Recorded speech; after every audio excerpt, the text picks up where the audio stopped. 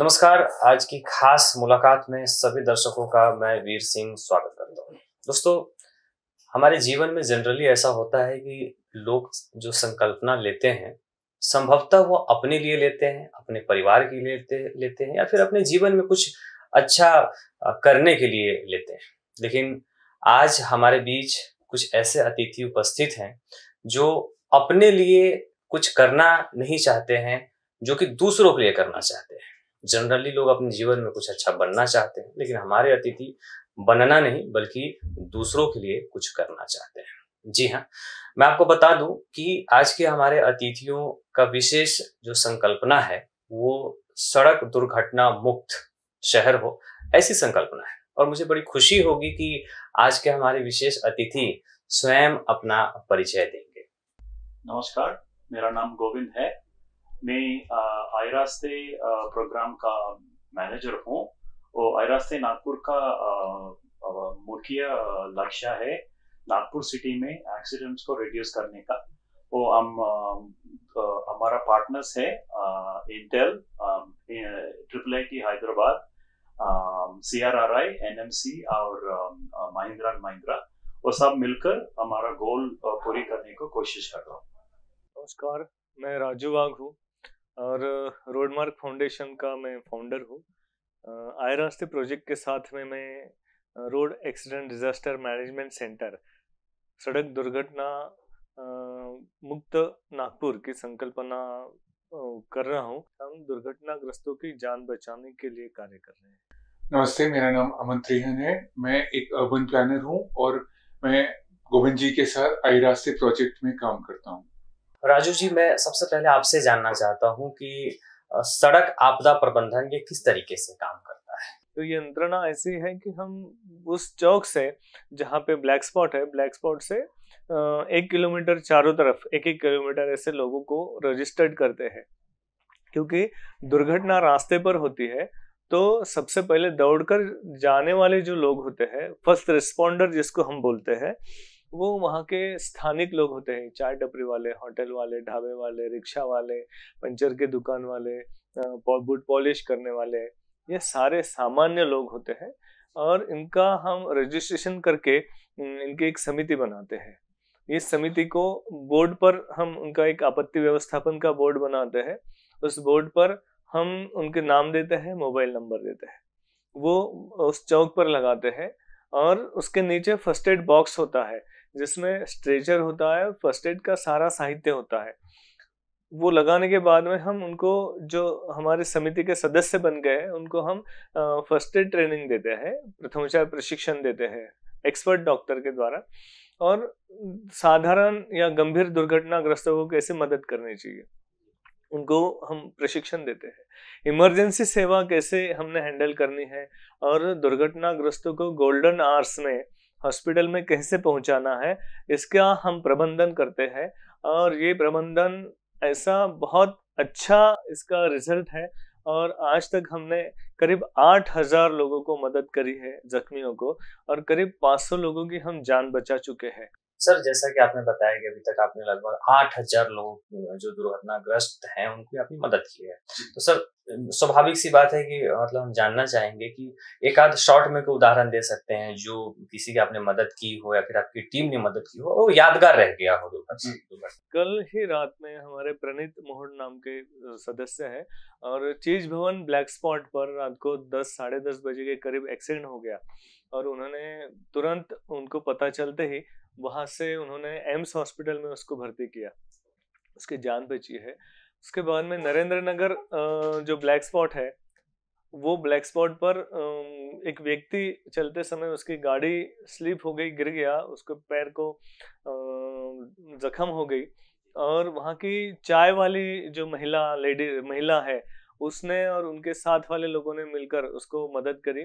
और हमारा जो फ़र्स्ट एड बॉक्स है उनके पास चाबी थी। ऐसे सभी लोगों को हम चाबी देते हैं जो उसमें सदस्य होते हैं। वहाँ से उन्होंने फ़र्स्ट एड का, प्रथम उपचार का साहित्य निकाला, उसको बैंडेज वगैरह बांधा और फिर उसको उनके घर में उन्होंने पहुँचा दिया। ऐसे कभी कभी छोटी बड़ी दुर्घटनाएँ होती है तो ये फ़र्स्ट एड बॉक्स जो हमने लगा रहे हैं ब्लैक स्पॉट पर, आपदा केंद्र में तो ये बड़े काम के हैं। और ऐसे ही लोगों को मदद करने वाले लोग सामान्य जो लोग हैं, ये कभी डॉक्टर, इंजीनियर, वकील, नेता, अभिनेता अभिनेता, ऐसे लोगों को मदद करते हैं और ये धन्यवाद की अपेक्षा किए बिना करते हैं। ऐसे हज़ारों लोग तैयार होना चाहिए, ये संकल्पना है हमारी और ऐसे हम, हमारा ये पैशन है और ये हम, हमारी ज़िंदगी हमने इसके लिए दी है, पच्चीस साल से ये काम कर रहे हैं और इसको सपोर्ट करके हमको आया रास्ते ने जो मदद करी है कि इस दुर्ग दुर्घटना, आपदा प्रबंधन को आगे बढ़ा है उसके लिए आया रास्ते का काफ़ी हम धन्यवाद करते हैं।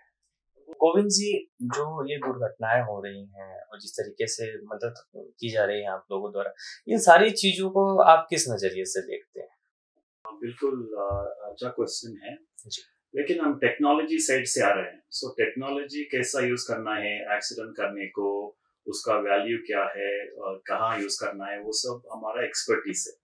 लेकिन एक्सीडेंट रिड्यूस करने का एक मुख्य कंपोनेंट है वो तो इमरजेंसी केयर इमरजेंसी केयर कल हमने पूरा आठ ब्लैक स्पॉट्स में डिजास्टर मैनेजमेंट सेल इंस्टॉल करने के बाद हमने पूरा वो वॉलेंटियर्स को इंटरव्यू किया है बात भी किया है। इतना खुश है तो सामान्य लोग है वो बिना कोई एक्सपेक्टेशंस के काम कर रहा है। विक्टिम्स को कैसा हेल्प करना है फ़र्स्ट टाइम ट्रेनिंग लेने के बाद वो विक्टिम्स को हेल्प कर रहा है। तो वो बहुत अच्छी बात है। इसीलिए हमको बहुत खुश है। इमरजेंसी के लिए आई रास्ते का गोल है एक्सीडेंट रिड्यूस करने का। तो हम पूरी करने को बहुत फ़ायदा अभी है। जी जी जी। आप लोगों का कार्य सराहनीय है। लेकिन जो आपका जो प्रोजेक्ट है आई रास्ते प्रोजेक्ट हम जानना चाहेंगे कि आई रास्ते प्रोजेक्ट देश को क्या संदेश देना चाहता है। आई रास्ते प्रोजेक्ट का मेन गोल है एक्सीडेंट रिडक्शन के लिए। जी।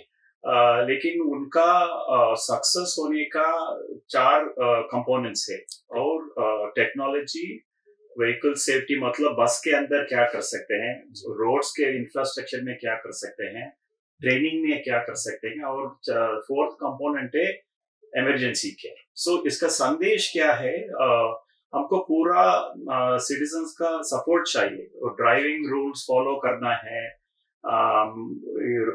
Road rules traffic rules violate नहीं करना है। और, और उसके बाद विक्टिम्स को हेल्प भी करना है। सो so, ये सब मिलकर हमको सक्सेस रेट बहुत ज़्यादा आने को चांस है। राजू जी मैं आपसे जानना चाहता हूँ जिस तरीके से आपने मुझे अभी भी बताया कि पान ठेले वाले टपरी वाले जैसे गुड पॉलिश करने वाले पंचर वाले इस तरीके के जो स्थानिक जो भी छोटे मोटे दुकानदार होते हैं जो अपने व्यवसाय करते हैं उन सभी को आपने जोड़ रखा है। तो उनको जोड़ने के जब इनको आप जोड़ रहे थे एकजुट कर रहे थे तो आपको किस तरीके का अनुभव आया? या फिर आ, मतलब आपको परेशानी गई? वो कैसा उनका रिस्पॉन्स कैसा था? ये सारी चीज़ें करते समय। देखिए कि हम तो अभी बहुत प्लस में है कि अभी लोगों में काफ़ी जन जागृति हुई है। मगर मैंने 25 साल पहले ये जो काम शुरू किया था तो उस वक्त लोग दुर्घटनाग्रस्तों को मदद करने के लिए सामने नहीं आते थे।